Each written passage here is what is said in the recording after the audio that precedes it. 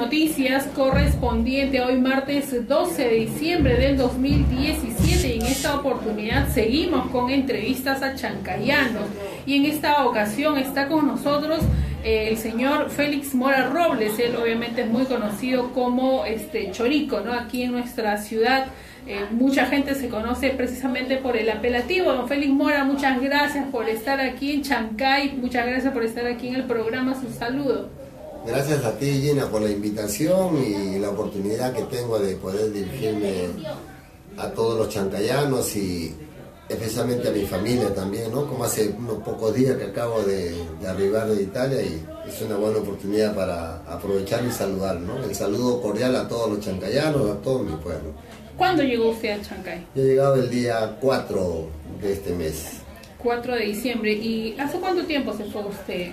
He vuelto después de dos años y meses. Claro, pero o sea, inicialmente, ah, ¿cómo decide irse? En el 2011 he partido yo por este acompañar a la esposa que ya... Ah, ella se había ido primero. Ella se había ido primero, ya después de unos casi cinco años de haber estado separado. Entonces este, me llama, me dice que si quería ir para que conozca y que la acompañe, ¿no? y eso fue. Y así me fui. De ahí hemos tornado juntos, hemos vuelto a ir he venido en otra oportunidad también solo, con la idea de quedarme, pero después he tenido que volver porque la pareja es la pareja y te necesita, ¿no? Entonces por esa razón estoy allá, aunque ahora sí, gracias a Dios, trabajando en alguna cosa, pero trabajando, que es lo que te incentiva a seguir, ¿no? Sí, efectivamente, ¿no? Y en todo caso, este, dejar a sus hijos acá, ¿cómo fue para usted? Uy, mira, es una pregunta. Yo recuerdo, Elena, y gracias por esa pregunta, porque es preciso para decir cosas muy esenciales. Yo me acuerdo cuando se, hacían unos eventos que se denominaban Chancay al futuro, algo así creo que era, Chancay al 2020, algo así, no recuerdo. Y me invitaron para hacer una exposición breve, que nos daban creo dos, tres minutos, había que ser conciso, ¿no? Entonces eso se realizó en el auxilio moto. Ya mi esposa se había ido ya. Y tú me acabas de responder, ¿qué sucede cuando te quedas con los hijos y se va la esposa? O que si hubiera quedado mi esposa y, ¿Y, usted partido, ¿no? Entonces, yo ese día analizando me dijo, analízate algo social sobre una problemática social. Entonces, como era la cosa rápida, dije bien claro, que yo lamentaba que los peruanos y especialmente los chancayanos tengan que emigrar, ¿no? Por buscar una mejoría, pero que el resultado de todo eso era perjudicial. Porque así te vayas tú y la esposa en el, mejor o peor de los casos y quedan tus hijos, así se queden con la abuelita, con los mejores tíos, no va a ser nunca como la presencia de los padres. En el peor caso todavía es cuando se va uno y queda el otro, sea varón o mujer, se queda acá, ese rompimiento, ya mi esposa me había contado todas las cosas que se ven y se dan allá en el extranjero. Se rompen la, relación de pareja, se separan, el hombre o la mujer hace otra vida allá y el que queda también acá empieza a iniciar otra cosa. Eh, gracias a, a, digamos, lo sólido de nuestra relación, ya 38 años casi, nosotros le hemos mantenido y a pesar de la separación no hubo nada que hubiera alterado, ¿no? Porque estábamos en constante. Pero es durísimo, es durísimo, durísimo eh, la separación, digo, cuando tienes un, un, contacto sólido, ¿no? De respeto, de amor. Entonces eso no es fácil. No es fácil, no es fácil. Si aún así, ¿no? Eh, se dice que las personas que no, conviven bien, aunque no sean casados, no conviven bien, de alguna manera se facilita. Porque dice, bueno, ya estoy un poco cansado de este o de esta, ¿no? Entre comillas. Y, el rompimiento es más fácil, o sea, es menos doloroso cuando dice, ya, bueno, está bien porque ya me cansé un poco de esta, andamos como perro y gato. Esos son los que fácilmente se abren. Pero en nuestro caso no, pues ya teníamos nosotros treinta y tantos años de juntitos sin problemas, bien vividos, entonces eso golpea más. Claro. Eso respondiendo a, lo que, a la pregunta, eh, duele mucho. Claro, claro. ¿Y cómo lo tomaron sus hijos? Mis hijos apenados se preocupaban mucho porque realmente me adelgacé, le extrañaba y, nunca lo negué. A los cuatro vientos dije que sí le extrañaba porque es natural, ¿no? Claro. Y bueno, ahí fui pasándolo y a la vez que me quedé como padre y madre, porque yo he sido de una manera de divertirme muchas amistades, ¿no? Por la misma práctica de la música, el contacto con toda la gente de la pesca y todo. Y al contrario, muchos pensaban que, que mi matrimonio se iba a disolver, porque dijo este, ahorita con la pena se va a dar los tragos, que por acá. Me divertía haciendo mi música cuando no tenía los contratos, porque seguía vigente los Caballeros de la Noche. Y este, la fui pasando ahí, ahí, ahí, pero me convertí prácticamente en padre y madre de México, que ahora ya son mucho más adultos, pero eran pequeños ya 14, 3 años atrás, pues, 13 o 14 años atrás. Entonces me volví un poco más hogareño, más como siempre, porque no he sido tanto de estar por la calle. Divertido, sí, pero sanamente, ¿no? Mucho por la jarana, la música y la cantidad de amigos, porque ¿quién no conoce pues a los caballeros noche, particularmente a quien habla, ¿no? Claro, pero dejarlos a esa edad, están adolescentes, es una edad Adolescente, difícil. Es difícil, es difícil, eso es lo más preocupante, pero felizmente yo he sido criado a la antigua, por eso el respeto que yo les tengo a la persona como, la, me la tienen a mí también, ¿no? Yo me siento muy estimado, muy querido y de esa manera yo he criado a mis hijos. Y ellos llevan la misma línea. Se lo dicen a personas, oye, tres hijos de fulano y tal, chorico como dije. Ay, mi amigo, uy, tu, papá es así, dile que, que has encontrado con fulano y tal. Y ellos contento, papá, me dice, qué bien, ¿dónde vamos? Me dicen, ah, tú eres hijo por el apellido, ¿no? Claro. No, tú eres hijo del, que toca guitarra. Uy, dile que has sentado con fulano y tal. Y qué agradable, mi papá me no daba eh, orgullo, emoción de que así. Entonces eso, como te digo, eh, ayuda también a, a, una buena crianza que ya se le inculcó, ¿no? Entonces aún con la ausencia de la madre no se desbanda. Porque yo pienso que ahora como los derechos del tanto de la madre como del padre son, o sea el varón y la mujer son iguales yo siempre lo he considerado así el machismo a mí no va conmigo no va qué bueno qué ambos bueno. claro entonces este no ha habido esto de que más escucharon al padre que a la madre ambos cualquier cosa siempre la decidimos entre mi esposa y yo con relación a cualquier indecisión que tengamos. ¿no? Claro. Y eso es bueno para un llevar de, de, la familia bien, ¿no? Claro, claro, sobre todo este, soportar, pues entre comillas, ¿no? La separación, el distanciamiento, más que la separación, el distanciamiento. El distanciamiento, ¿no? porque por más que estés comunicado casi a diario, pero falta la presencia física. Y eso todo ser humano creo que debe sentirlo. No nadie es súper poderoso para decir, no, a mí no, no, no me pasó nada. Pasan cosas. Por supuesto. Pero se superan también. Exactamente, ahí, ahí, está el detalle, ¿no? En que este, se logra superar eh, situaciones difíciles que Difícil, nos toca vivir en la vida. Eso es. Y bueno, la experiencia también de vida te da pues un poquito, digamos, a entenderlo, ¿no? A entenderlo y soportarlo. Pero llega un momento en que lo superas. Y más cuando me dio la oportunidad de viajar, también duele dejar a los hijos. Por supuesto. Pero está la recompensa de encontrarte con, con, tu pareja, ¿no? Con tu esposo, en el caso de tu hijo. Eh, pues, son experiencias que realmente en la vida también te dan muchos mucho conceptos de conocimiento, de, de cómo actuar toda experiencia yo creo que te aporta siempre algo a tu propia vida. Claro, y sus tres hijos este, ya han ido en algún momento a... Sí, la, la, mayorcita, que es una, una mujercita, ya ha tenido la oportunidad de estar tres meses allá. Le ha gustado y quiere volver. Qué bueno, qué bueno. Posteriormente estaba la indecisión si entre el segundo o el tercero, los dos varones, y se decidió el menor, pues. Y para suerte de él, con su esposa y sus dos hijos. ¿No? Se hace un esfuerzo, pero ya están allá. Ahora ellos están allá por, como turistas, pero también si tienen la suerte y logran quedarse, ya estamos en un país ajeno y hay forma de cómo quedarse. Claro. Por ejemplo, ya mi nietecita está estudiando, ya ese es un paso a favor. Ya, ya está estudiando allá.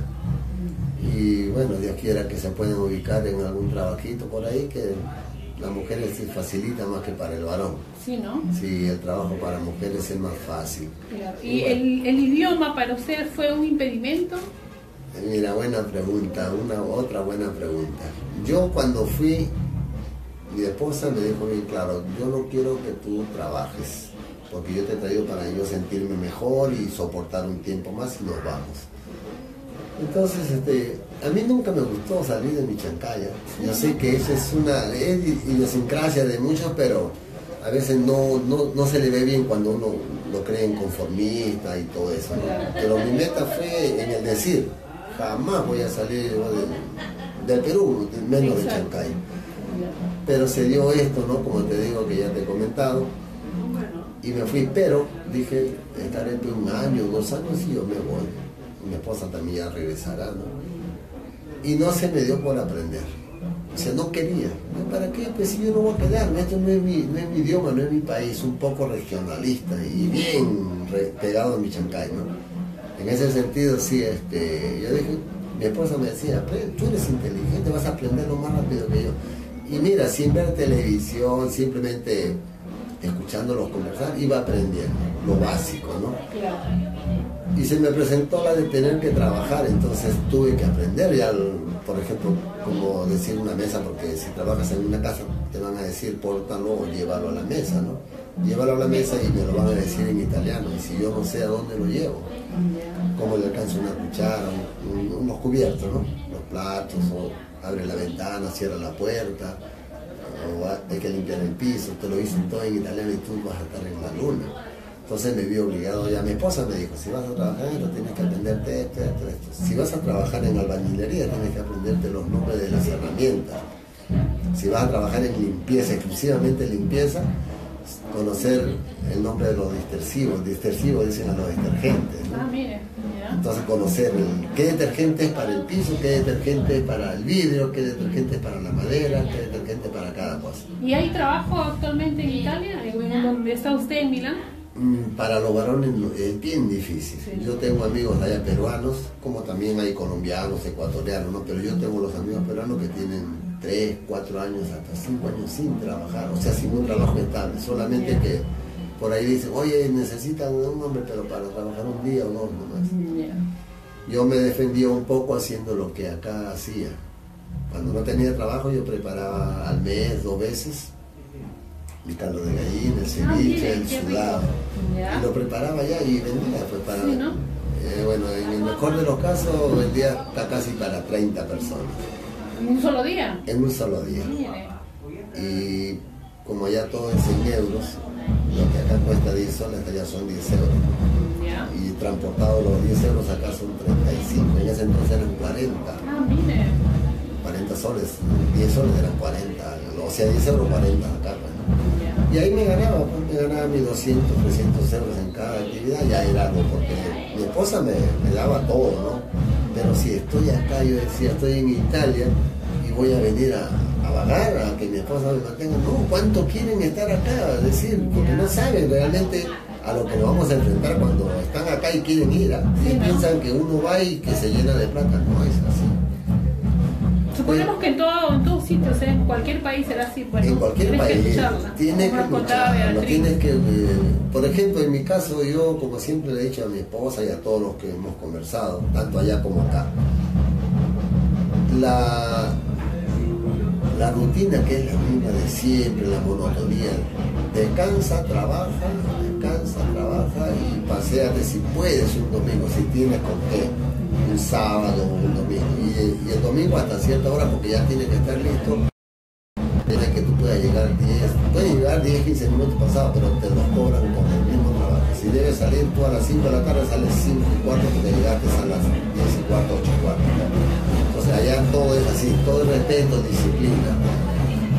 Eh, pero se sufre cuando no se tiene trabajo. Y estando allá yo dije, yo, me ingenié la forma bien puestas en, algún trabajo que no lo hace nadie allá. Pero resulta que no te lo permiten. Porque yo mi comida si pudiera prepararla en una esquinita, como, llaman acá en una carotillita, yo me lleno de euros era, era bien reconocida allá por los peruanos y hasta por los propios italianos. Todo lo que preparaba, todo se acababa siempre, acá, que todo lo que preparaba ahí en el mercado, todo, hasta mi propia comida que preparaba para mi familia. A me decía, véndame un frijol con vinagre ya. Ya empecé a preparar un poco más porque me pedían, me guardo dos platitos y ya. Y allá lo hice un poco así, ¿no? Pero repito que yo lo hice porque dijo, estoy acá, estoy en Italia, que los primeros días te parecen increíbles, ¿no? que estás en otro país, otro mundo prácticamente, pero empecé a hacer eso porque dije, algo tengo que ganar. ¿Cuántos quisieran estar? Yo estoy acá y debo aprovecharlo. Y le puse la mira a una serie de actividades que no, que no hay, mejor dicho. Pero la primera era tener que hacer un negocito con la venta de la comida. No te lo permiten porque ya no hay ambulantes por ningún lado. Y si hay, te, te, y te quitan todo. no, no puedes trabajar. Otra dije yo, ¿sabes qué? Le puse, porque vi que hay mucha gente de otros países, ¿no? Uno de, Marruecos, de la India, de Egipto, porque de ahí te encuentras con toda la cantidad de gente, de todos los países, como también chilenos, colombianos, venezolanos, puertorriqueños, dominicanos, ¿no? Bolivianos también. Se ponen a vender encendedores a la altura de los semáforos y venden y se dan el lujo con ese negocio de irse de vacaciones a su país. Se van por un mes, dos meses, vuelven y siguen vendiendo. Se maltrajean un poco, pero ganan plata, más que cualquiera de los que trabajan en un puesto estable. Yo dije eso no lo voy a hacer, no porque me dé vergüenza nada, yo con tal de ganar yo tiro piedras y si me dicen que tengo que tumbar algo le tumbo, ¿no? Dije no porque está un poco saturado eso, yo buscaba algo que no había y le pongo yo la, la mira, ¿sabes a qué? A mostrar calzado. Que fue en mi, infancia que yo hice acá. Chancay yo fui lustrabotas y aprendí a hacerlo de la mejor manera con, algunos trucos, algunos secretitos y eso no se me olvidaba. Yo dije, lo voy a hacer eso, que, que hasta precio tenía ya. Dos euros por cada lustrada, al día me hago 100, tengo 200 euros diarios. Sácale 30 nomás de material, listo pero lo consulté y me dijeron que no me lo iban a permitir, porque no hay nadie que haga eso. Mm. Y si no lo hacen es porque no lo permiten. Pero hablando con un italiano amigo, le digo, este, oye, fulano de tal, le digo, mira, ya hablándole un poco en italiano masticado, ¿no? Y él también que, que entendía el español un poco, porque siempre conversábamos con peruanos y italianos. Y yo le digo, mira, he pensado en esto. Me dice, mira, hay mecanismos hay que conocer, ¿no? Hacer, Ser papeluchero o ser un abogado o un político. Hay mecanismos en que sí se le puede permitir, pero yo tengo que argumentarlo, que tú vas a brindar un servicio a la colectividad italiana y de primera necesidad, porque cuántos salen apurados y van a entrar y tú en, dos, tres minutos ya estás, o cinco minutos. Eso lo puedo fundamentar. Pero resulta que de ese tramo a lograr la idea consigo un trabajo de limpieza. Ahí estuve como año y medio y posteriormente consigo ya un trabajo estable para cuidar a un señor. Y ya no me dio tiempo para gestionar eso porque estoy fuera de Milano, estoy como decir de Chancayahuacho. ¿no? Ah, y es estable, o sea, como dicen acá, cama adentro. Ah, Entonces no, no, me da tiempo para ayudarle a tu papá con esto de la, de la hermandad de Señor Milagro salí un sábado y domingo que yo debo salir, pero debo pagar al que me va a reemplazar, no es que me lo pagan ellos, ¿no? Ah, pero justo cuando hablo con tu papi, yo iba a salir en esa semana.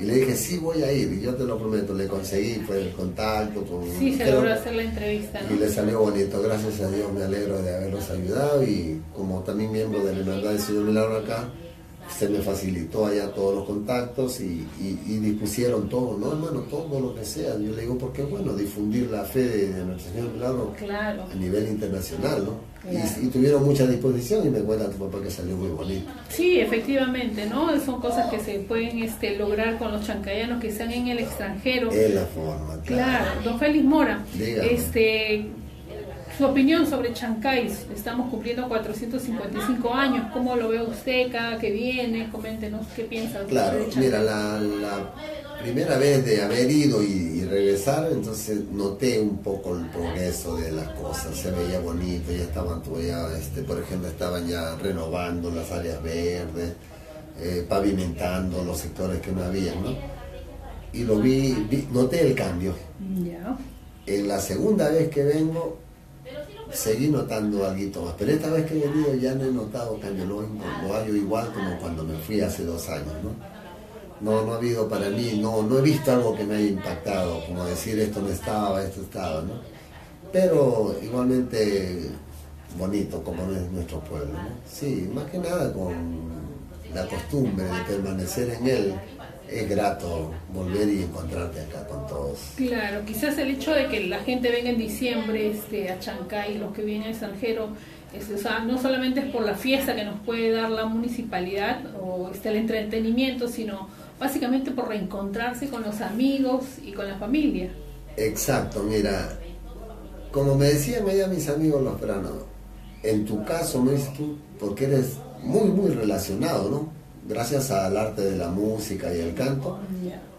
Yo pues me recorrí, yo, yo, no recuerdo en qué casa no había tocado, muy bien.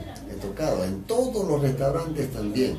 Y después yendo un poco más hemos ido hasta Olmos a tocar, Chimbote, Barranca, Supe, Olmos a Lima, Lima y Callao y todos los distritos casi de Lima, San Borja, Las Gardenias, El Rima, Callao, todos hemos correteado.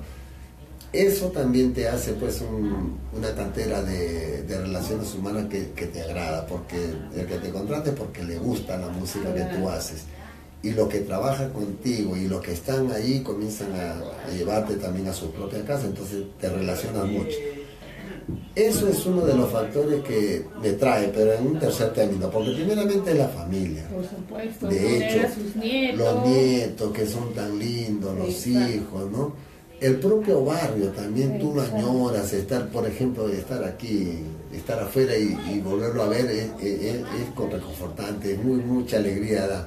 A mí me trae, ya que me has hecho la pregunta, me trae primeramente mis nietos, mis hijos los hermanos, la familia, bueno, padre y madre ya no la tenemos, pero están mis hermanos que también han emigrado, la mayoría están en Argentina. Ah, pero aquí estamos todavía algunos, ¿no? Y eh, reencontrarnos con ellos es bonito. Otra cosa que nos trae con una fuerza como un imán es nuestra comida. Ah, eso sí. Allá no se come pues igual, salvo que usted lo prepare porque usted sabe. Lo preparo, pero no es igual. Bueno, yo Algunos ingredientes no hay, sí. Se consiguen, ah, se, consiguen, pero bueno, neto, neto, pero no se consiguen. La, la cuestión es llena de que yo tengo la particularidad de que soy bien difícil para comer, para la gastronomía personal. Yo me preparo lo que quiero, pero no puedo estar, por ejemplo, me agrada comer el mondongo, por decir, la patita. Las puedo conseguir, pero no puedo comer todos los días patita y mondongo como carne y la carne a la edad que tengo ya no me hace mucho bien. Ah, aunque a, cualquiera no es bueno que coma carne tan seguida. y el pescado, que es mi fuerte en alimentación, allá no como ningún pescado. Porque no los conozco ah, y yo soy ese tipo que digo, no, ese no quiero, ese no quiero, no quiero y no quiero ninguno. Acá mismo, a pesar de que yo preparaba el trambollo que tan famoso se hizo, el ceviche de toyo con calamar. Levanta muertos. ¿eh? Ya, ese levanta muertos. Yo lo preparo, pero yo nunca lo he comido. Ah, sí. Nunca lo he comido. Entonces, ese por ejemplo, ya, mejor te digo qué es lo que como, porque si me pongo a nombrar lo que no, va a ser una infinidad. Solamente como la corvinilla, el pejerrey, la lorna y la cojinola. ¿Y eso hay ¿Eso pesca? No hay. No hay. No hay, no hay. Y Allá hay lo que vendría a ser acá un toyo, allá consigues pez espada, el salmón, y yo nunca. Pero el salmón lo exportan de acá, ¿no? bastante, es, caro el salmón. El salmón es carísimo.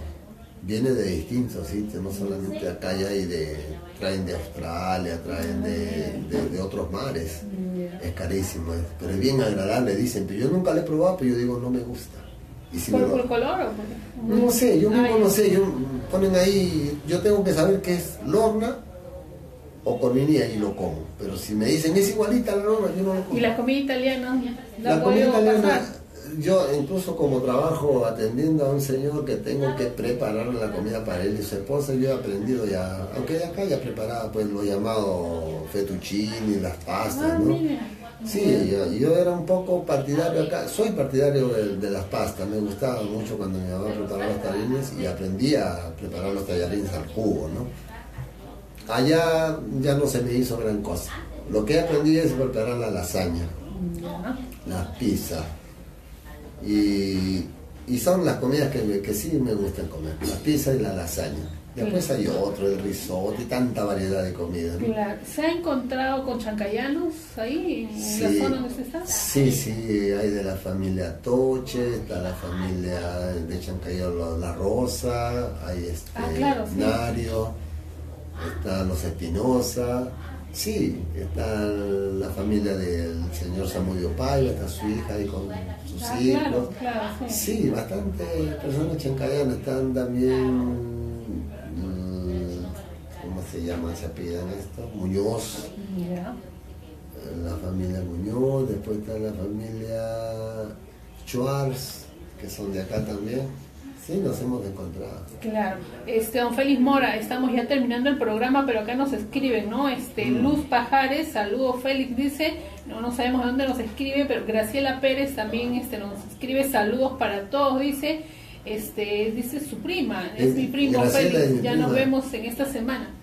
Ah, este Pérez, ¿no? De aquella Ella- organización, ellos están en Estados en Unidos. Estados Unidos. Ah, mire. Y Luz Pajares también está en Estados Unidos. Ay, mire, qué bueno, ¿no? Eh, le retribuye el saludo, puedo retribuir Sí, claro, el saludo. sí, Yo le saludo también a usted, yo sé que acá nos vamos a encontrar, prima Graciela.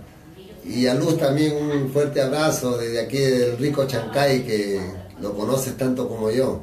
Saludos para todos.